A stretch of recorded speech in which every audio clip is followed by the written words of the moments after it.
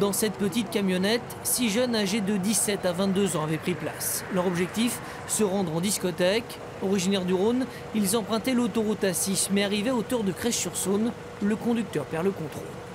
On sait juste qu'il s'agit d'un seul véhicule qui a été euh, frappé les glissières de sécurité et qui s'est retrouvé sur le flanc. Euh, Pour l'instant, euh, les, causes ne sont pas encore déterminées. L'enquête y travaille.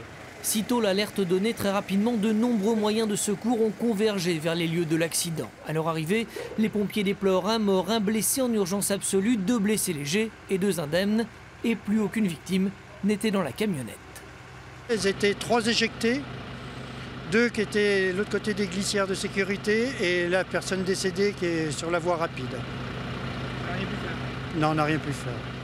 Si le bilan est si lourd, c'est certainement parce que le véhicule n'était pas prévu pour transporter six personnes dans des conditions de sécurité optimales. À l'arrière, nous n'avons pas vu de siège ou de ceinture de sécurité. Trois jeunes voyageaient donc au milieu d'outillages et de pots de peinture. Au moment des tonneaux, tous ces objets ne leur ont laissé que peu de chance. Les gendarmes enquêtent d'ailleurs pour savoir si légalement six personnes pouvaient être transportées dans cet utilitaire.